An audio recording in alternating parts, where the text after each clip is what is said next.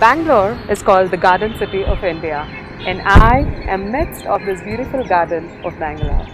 Just feel the air and the breeze.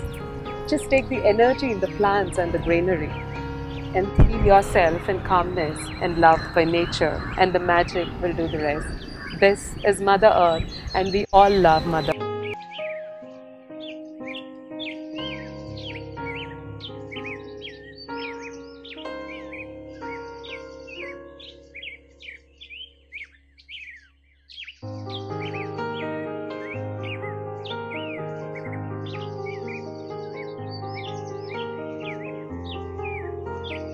Am Princess of Mr. and Mrs. Chandrasekhar, Queen of Mr. Pritham Saravo and family, a wonderful mother and a very good friend to my cute little boy, Pratyush in Irish.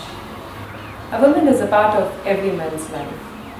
There is a famous saying that says, educate a man and you will educate him, but educate a woman, you will educate a community. So this is about the women.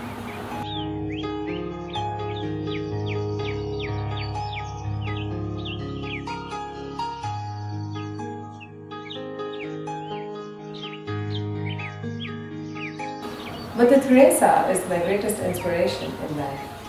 She's always told that smile is the essence of life. So greet each other with smile. Because smile is the beginning of love. But when I say, I say greet each other with a smile because smile is the essence of love.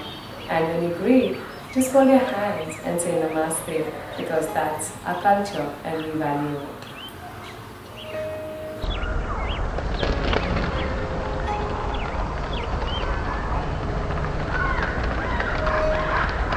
I would like to thank Mrs. Deepali Phadnis, who is the director of Mrs. India pageants and its crew.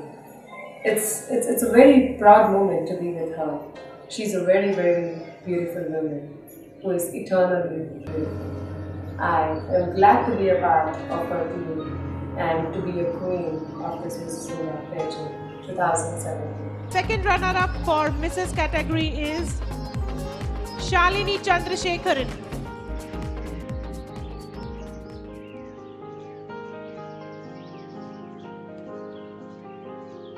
Mrs. India 2017 South Zone second runner-up. It's a very pleasure moment for me when I won this crown. It felt like the world is watching me, and it was a great moment for my family too. And for this special moment, I would like to thank everyone in the pageant who made this.